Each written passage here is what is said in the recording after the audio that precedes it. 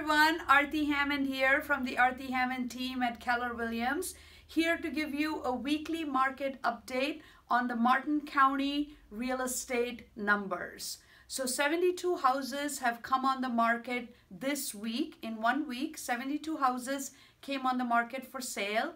96 houses have gone under contract. Let that sink in for a second. In one week, 96 houses have gone under contract. More houses went under contract than new listing coming on the market.